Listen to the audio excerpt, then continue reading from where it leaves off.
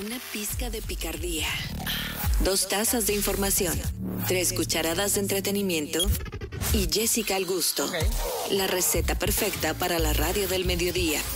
Jessica en punto. Es lo que gusta. Nos encanta en Jessica en punto recibir invitados que sean top. Y hoy está con nosotros una bailarina, modelo, maquilladora, influencer de redes sociales. Ella mueve el booty en TikTok. Ay, Un oh. placer para nosotros tenerte aquí, Melissa Rodríguez. Bienvenida. Plata.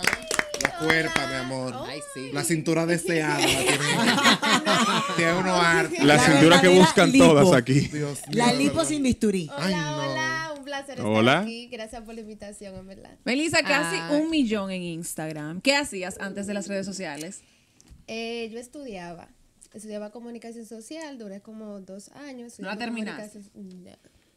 ¿Retomarías? Vino lo del COVID, cuarentena, entonces empecé a coger la clase virtual, entonces vi como que no aprendía nada. No tan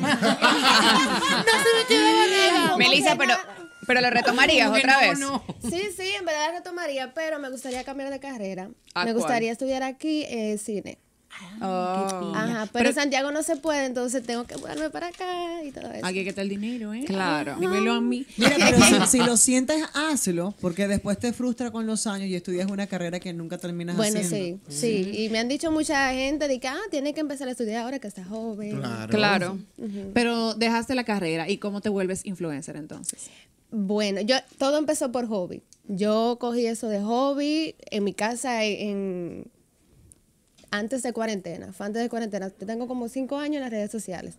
Entonces empezó como hobby haciendo videos de comedia, comedia, transición en aquellos tiempos, que esto, que... Uh, Ajá, claro. ¿Sabes lo que era? Que si te hagan tantito, de que tu, tu, tu, tu, esta cosa. Entonces vi un video que se me fue viral y fue una comedia. Fue una comedia en dúo. La comedia se hacía en dúo en aquellos tiempos. ¿Era como musical y eso no? Pero, ajá, musicales. Entonces, esa comedia me, me corrió a mí 2000 likes. En ese tiempo, esos likes eran muchos. Eso era Porque, como 200 no mil. había exactamente, porque aquí en. Musically, aquí en Musically no era viral, era de allá afuera. Ajá. Entonces, veo yo, coño, ¿y qué es lo que está pasando? ¿Qué es lo que está sucediendo? Y empecé yo a hacer comedia como una loca. Dándolo todo por todo ya haciendo comedia.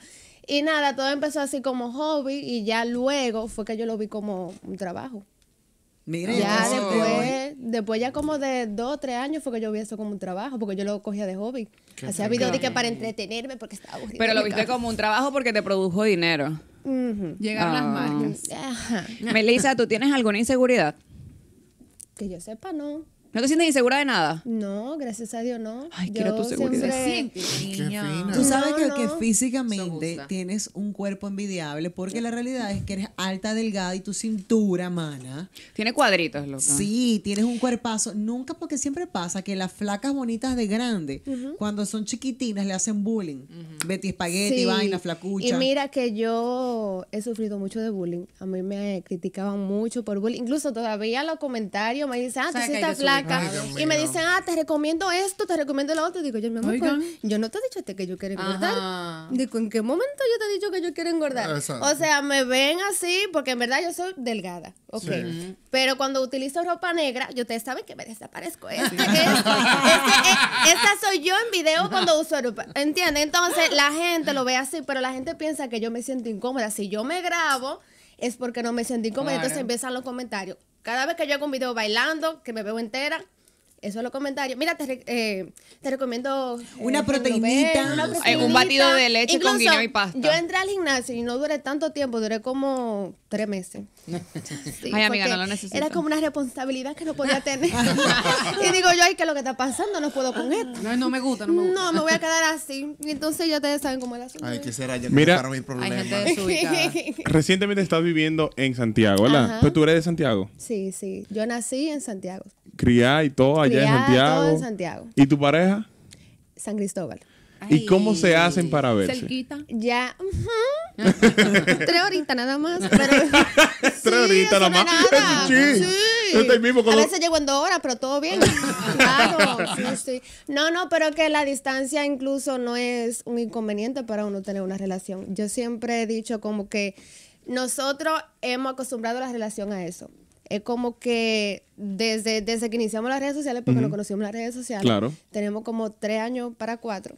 Y es, y es juntos siempre, para arriba y para abajo. Si él tiene que bajar para Santiago, dura unas semanas. Yo, Wow. voy, yo voy para San Cristóbal, dura una semana. Yo aquí en Santo Domingo tengo ¿Y literalmente qué? como...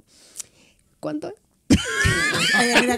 Bueno, tengo como dos Asistente. semanas. En verdad, mi madre me está por dar. Pero. tu te madre digo- está harta de ti. Madre Camila Mejía. Mira, ¿y qué es lo más que tú has durado sin ver a tu novio? un mes. Un mes sin ¿y ¿por qué verlo. gritan así? Eso, eso no es normal. Ay, pero este. Miren, yo Mira, mira. no, no, no, no, miren, yo le voy a explicar algo y es que cada persona, mira Jessica. Es de Semi que me cortó los No, ojos. no, no, Mira. es que, Semi- Es que no, Semi- no, no, no Porque tú por lo menos tú. Yo no, porque mira, yo siempre he pensado como que cada quien necesita su espacio. Claro, pero ¿Verdad tú por lo menos estás local. Semi no, Semi está allá. Somos novios, no somos pareja, no estamos casados, no tenemos una Atención. Semi. El problema es ya cuando llegue, ajá, cuando llegue ya el momento de tomar una responsabilidad que es casarnos, ya obviamente se van a tener que A cortar a los caminos. cosas. Claro. Mi amor, esto, esto. Es que en esta Mira, cabina, cuidadito. la ¿Y qué es lo no peor sabe. que.? ay, Nada. Decláralo, decláralo. Acláralo, ¿eh? Yo, yo quiero que ella se Soy calle. valiente, No, que se dale. calle. Minuto y lo extraña. Dale. No, yo le estaba diciendo a ella, pero no me escuchó, que en esta cabina no, no sabemos la diferencia de, de que eso sí es funcional. Tú ves que hay una Ok. etapa de noviazgo. Aquí se quieren casar a los dos días que se conocen. Exacto. Claro. Y yo. Mm, Bueno, en mi caso yo no tengo esa, esa mentalidad. Yo Esa mejor, mejor prefiero como estabilizarme, eh, tener eh, monetización, algo, tú sabes, Claro. eh, organizarme antes Lo de tomar una decisión tan fuerte, porque en sí convivir con una persona y, y mudarme solamente por placer, Sí. porque mayormente lo utilizan Sí. para eso. Entonces, yo pienso más como que, ah, tengo que organizarme primero para no volverme loca, porque ustedes saben que es una responsabilidad muy, muy fuerte. Yo soy joven, tengo 21 años. Casa, creo que- carro, pasaje, exacto, compra. exacto, creo que no es momento, incluso vivo solamente con mi mamá, yo soy hija única. ¿Qué? Entonces solamente vivo con mi mamá. Y tomé la decisión como de dejarla sola en Santiago. Para venir para acá, para Santo Domingo, porque esos son lo- los planes que tengo yo ahora. Entonces, Sí. tengo como que organizarme ¿Y tu poco. papá? Mi papá está bien, gracias a Dios. Está muy bien, te No, mando mi papá es el mejor, es el mejor. Lo que pasa es que se divorciaron, no hay que cantidad de tiempo. Pero mi papá siempre, ha- siempre ha estado ahí para mí, va siempre a mi casa, me llama, todo. Qué chulo. Sí. ¿Y qué es lo peor que han pasado como relación? Creo que nada. No han tenido como topes así, que tú dices que mira, estuvimos a punto de terminar. No, Tú no, tienes cara no. que eres tóxica. No, de verdad que no. Ven acá, Si yo fuera tóxica, incluso no tuviera como eso, esa mentalidad de que cada persona necesita su espacio. Ah, ¿verdad, Open? ¿Y cómo, Ah, sí, sí. cómo- Cuando es- Carl- estando lejos, cómo manejan, por ejemplo, lo- los halagos en redes sociales? Porque tal vez, por ejemplo, Edward con Jessica le dice, mira lo que me dijeron. Y, y él se lo coge a Chelcha, pero, por ejemplo, cuando él ve comentarios de hombres frecos que se pasan, porque yo te sigo. Mm, oh. No, pues claro. ¡Ey! Yo a todos te lo sigo antes de estar aquí. No, pero ella tú la sigues especialmente. No, claro, no, porque Un cariño ella, especial. Ella fue, una de las por- por- ella fue una de las primeras que conocí en TikTok cuando era Musical.ly. Entonces, eh, Ah, ¿cómo es se por maneja, eso, por Belisa? Porque a, a él también, mujeres se le pa- se pasan. Sí, mujeres. pero que ya, es que, ¿cómo le explico? Es una costumbre. Ya nosotros Sí, crecimos claro. en las redes sociales. Cualquier comentario que venga de una X cantidad de, de personas es una admiración, como quien dice. Y uno, no, y uno como quien dice, es el ejemplo de la persona, ¿verdad que sí? Entonces, si a él lo ven de otra manera, ¿Qué- son opiniones. ¿Qué, Son opiniones. ¿Qué tiempo ya ustedes tienen de relación? Tres años para cuatro. Ah, Ok. ¿Y qué ustedes entienden que ustedes han hecho diferente en comparación a otras parejas que se hacen públicas en TikTok? Que tú han visto, quizás hasta compañeros tuyos, amigos de ustedes, que tienen relaciones públicas y terminan, siempre terminan en un show. Pero en el caso de ustedes, ustedes se han manejado muy bien. ¿Qué es lo que lo hace diferente a ustedes dos? que no todo lo mostramos en las redes sociales. Mm, Mantienen privacidad. Exactamente. le encanta Cosas, mostrar. Exactamente, o sea, gente. incluso nosotros antes creábamos bastante video, mucho, mucho video, y la persona nos relacionaban como una relación. David Melissa, David Melissa, nos buscaban David Melissa, de- David Melissa, pero lo que la gente no se daba cuenta es que nosotros somos influencer distintos. Él es David Frinzi, yo soy Melissa Rodríguez. Entonces, quisimos como no sé cómo se dice, Separar. como separar un poco nuestra relación de las redes sociales para que la gente no se acostumbre tanto a Melissa y David. Melissa y David. está él, está la ella. pareja, la parejita, ¿tú- ¿me entienden? Hay mucha gente que piensa, porque incluso duramos como dos meses sin subir video. Terminaron, no graban video. Oye. Pues no grabar video. Eh, no están juntos. Y yo, oh, qué bien. Ya Pero sé. también se entiende porque el crecer juntos y no verlos, pues. claro, claro, claro. eso No, no, no. Ok, se entiende, claro, claro está, pero eso ya es normal. La opinión de la persona ya es normal y uno no puede decir nada Y sobre no las les, no opiniones. les llegó a pasar que estaban como incómodos y tenían que grabar video como por...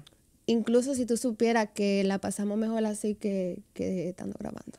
Oh, Sí, o sea, como que la privacidad es mucho mejor que, que estar Sí, como por que eso lo digo, porque a veces yo siento que las parejas expuestas, tan Incluso expuestas. disfruta, disfrutamos más. O sea, antes nosotros los TikTokers nos juntábamos y era para grabar contenido. Ahora como que ah, vamos a tal lugar, grabamos uno, Una dos cosita, cositas claro. de que ah, estamos aquí felices. Pero no lo No es como- así. no se siente Exactamente, trabajo. es- ujú, Es que yo, creo que la casa de los TikTokers, vamos a, vamos a hacer el cronograma, evolucionó. Me recuerdo que te vi por primera vez en, en la casa de los TikTokers, en la mansión era que se llamaba, ¿verdad? Donde está, de Eligio. De ahí hubo muchos sabores, mi reina. Yo sé que hay bandos porque sigo mucho los TikTokers y más o menos veo esos líos. Tú te quedaste siendo amiga de la flaca que dio a luz, mujer de Elber, ¿cierto? Case Katie, Guzmán. Case. Katie, Katie. y está el otro grupo que en su momento también estaba, que era como el team entonces de Ashley Montero. Ay, pero jefe, usted sabe mucho de estos chismes. mucho jefe. ella. Está fuerte Ay, pero Jessica está activa. Déjame sentarme como un poco más cíntrica porque como Claro, que está porque- interesante. el tema. Cuéntame más, Jessica.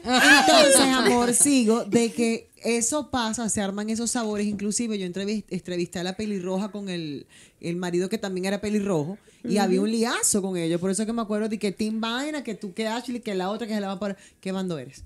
Ella te marió, ella te marió para decirte a ti qué bando tú eres. No, no, no, no, no tengo bando. No tengo bando. ¿Eres amiga de Ashley? Mm, sí, Mira ahí. Sí. Nah. Y de Katie ¿Cómo te también. el Y creo, y creo que. La asistente se quedó así. Seca se quedó la asistente. Y creo ¿Cómo? que. Asistente, mírame. Fuerte declaraciones. El tequila está bueno, cambia. Esa mujer. Mire, esa Camila es fuerte. No, pero mira, creo. eso- esos líos que pasan en TikTok, te voy a hacer la pregunta ya en serio. Esos líos que pasan en TikTok sí están llevados a la vida real. Quitando lo que haya pasado personal de ellos porque fueron experiencias de ellos. Pero cada uno de ustedes formó su grupo y tiene de amigos. ¿Se hablan en, en- en ya fuera de, de los TikTokers o se quedó el lío de que cada quien cogió su bando? Sé Mira, honesta. yo creo que no tengo como el derecho de, de hablar y de opinar de esos temas personales de esas personas. Este, yo todo lo veo ya de un punto de vista de que hay que madurar. No, eso ha pasado, eso pasó hace dos años atrás. Yo no puedo tener eso en mente, mi mentalidad ya ha cambiado bastante, ya yo pienso como que ah, la enemistad ahora mismo no lleva a nada. Pero si se ven, se saludan. ¿Quién es? Si se ven, son amigos, se saludan, amigas. Ella dijo sí, quién es. sí, incluso yo, Ashley, yo estaba tú. con ella ahora, yo salí de, de con ella ahora, entonces eh, hay un caso y es que ella es mejor amiga de mi pareja, Entonces hay que convivir en paz, incluso yo no puedo ni, ni Entonces fue más difícil para ti. no tan difícil tampoco, porque imagínate, las cosas se, se sobrellevan y se separan, una relación no se puede comparar con una amistad, pero yo siempre veo ya todo como una madurez y que esas personas que tengan inconvenientes realmente no puedo nada que opinar. Tú sabes también que fue que yo creo que cuando se, cuando se inició Meli, la parte de los TikTokers, ustedes eran muy carajitos. Ah, sí. Entonces fueron teniendo muchos problemas, chisme y vaina, y fueron creciendo, fueron metiéndose en el medio. Son cosas de, de inmadurez de niños. En verdad, eso pasó ya. Yo tenía 18 años cuando eso pasó. ¿Y tienes? 21. Sí, claro. Ah, no, por, por Me eso. cambiaron, el tema de- me cambiaron el tema ahorita. Yo ¿Cuál? quiero seguir con la pareja. ¿Y han pensado en tener bebés? Ah, En sí. casarse. ¿Cuándo se van a casar? Porque cuatro Ah. años de amor son mucho. Ay, no suena tanto, en verdad. No, Lo, lo que pasa es que aquella es una tóxica que ella entiende que al año hay que casarse ya. Sí, sí, hay planes de tener eso, no ahora, que no vez. ¿Por qué me ahora. que meter al medio si yo estoy callada? Sabrina, no- no ha hablado por eso mismo, porque ella quiere estar calladita, tranquila. Cuando la corona me queda, yo me callo. Ella es el ejemplo, pero el mal ejemplo. ¿eh? No, claro No que soy no, yo. porque eso es muy relativo. O sea, cada quien. Hay gente que dura 10 años de novio y al final no se Sí. casa. O Ah, se bueno. casan y se divorcian al año. Y hay gente que de repente. O se duran los años en noviazgo y cuando se casan se separan. Exactamente. No, y hay gente que se empata de una vez y dura toda la vida. Incluso nos han dicho de que en los comentarios nos han dicho de que, que ah, bonita pareja, la único que han durado, pero no se casen, que eso da mala suerte. Y yo, Oye, ahora. Y yo me quedé como que, ¿qué? Y entonces, y entonces vienen más comentarios de que, que ¿cómo así? Que Ay, eso da sí. mala suerte. No, que se case. Y yo, oh. Sí, pues, ¿sabes que la Tienen gente- como un- una, una conversación en los comentarios ellos dinámicos, como que no entiendo, pero todo bien. Sí. Pero sí hay planes de tener bebés, no ahora. Estoy muy joven, mi gente. Claro. Déjenme respirar, déjenme vivir mi juventud. Estoy muy joven, se mentido, ¿no? Mire, yo soy el 21. contable de aquí, de Jessica en punto. Ay, Y siempre para nosotros es una duda de cada influencer, cada artista que llega, saber y llevarle la vida. En este caso, la contabilidad. ¿Quién se busca más de tú o Frinzi? ¿O quién y tú por dónde anda? los preste, por los posts, los reels. Los reels, la cosita, las historias, los sets. ¿Mm? Deja tu humildad. No, humildad, Veo no. cadena, veo cosas. No, veo eso es fake, eso es fake. Siendo real, eso es fake. Ajá, es fake. lo soy Netflix. realista, soy muy realista. No soy, no soy una. No soy mucho de vanidades. Sí, María. Realmente. Hermana, deja el mareo. Pues ahora tiene más cuarto porque entonces lo gastó eso, ¿entiendes? no lo gastó, tiene más dinero. Escríbele a mi manager, él te va a decir. Ay, llame a su manager. Ok, ok, pero. manager, escríbele. Ok, ok. ¿Quién se busca más? ¿Tú o David? Ok, eso, eso es fácil porque tú no, me tienes que decir número. Ambos estamos ahí. Están, Eso es están ella, ahí, están así, así, Eso así. es- Eso es ella, eso es humildad. ambos. Eso es ella que se está es buscando más. 500 dólares por post. Jessica, mi amor. Y el punto. Cambia. Cambia de mood, mami. Ok, ok, ok, No, para- no te estamos no, cambia de mood. Ok, para cerrar, para cerrar. Yo quiero que tú a esa cámara, para cerrar, le des un consejo a todas esas parejas que tienen su novio o, eh, o su novia, en cualquier caso, fuera del país, una relación a distancia. ¿Qué consejo tú le das? Y también otro consejo a Semi Poppy, que siempre se lo buscan en Nueva York. Siempre. Y Ah, nunca, le dan, está bien por él. y nunca le dan Claro, amor. es que aquí no hay nada que buscar en este país. Son dólares, mamá, son dólares. Ay, qué fina ella. No, bueno. Melissa, y a él no le dan amores. Él, lo tienen eh, ahí ya. Ey, señor, ¿y qué? Pero es Melissa la entrevistada. ¿De qué tú me manda? Es que yo creo que ella te aconseje. No, mira, a las relaciones a distancia hay que llevarla mucho a confianza. Tiene que tener mucha confianza, respeto, que es lo más importante, respetar a tu pareja. Y siempre tener pendiente de que tu pareja es no tu motor, pero sí, eh, no sé cómo explicarlo, pero lo importante es que se lleven súper bien, que tengan respeto, respeto, perdón, que tengan confianza, que sepan sobrellevar la relación, cualquier tipo de problema, que los problemas no lo lleven a un nivel extremo de que vamos a terminar por un simple problema. No me hagan eso, por favor. Las cosas se hablan con madurez, con respeto. Usted puede respetar, usted puede sobrellevar un tema. Ok, si las cosas no están bien en una relación, vamos a hablarla. ¿Y si usted, a si los usted, jóvenes? si usted quiere a esa persona, Luche por respétese, ella. luche, respétese, no que tanto discutir, que tanto, que tanta vaina es, muchacha. Dios mío. Y los que sueñan con ser TikToker. Graben video. Graben mucho video y tengan carisma. El carisma es muy importante porque hay muchas personas que, que no tienen carisma. Entonces son bonitas, tienen talento, pero no tienen carisma. Entonces tienen que tener carisma, eh, conversar con el público, hablar con el público, tomar el público como tu familia. Si tú no tomas el público como tu familia, tú no vas a poder sobrellevar. Exacto. Eso es súper importante, por eso es que tú tienes tu comunidad tan unida y por eso es que Brian tiene su comunidad, Sabri, Semi, Exactamente, Fiore. carisma y siempre y siempre ten tu tu tu energía, tu esencia, no pierdas tu esencia de que um, Para hacerte a otro. tú, exactamente, eh, como que ah, con, con las personas que tú conoces, tú eres divertida, tú eres chévere, tú eres rular. Pero ya en las redes sociales, de que porque no te conocen, no sé tú misma.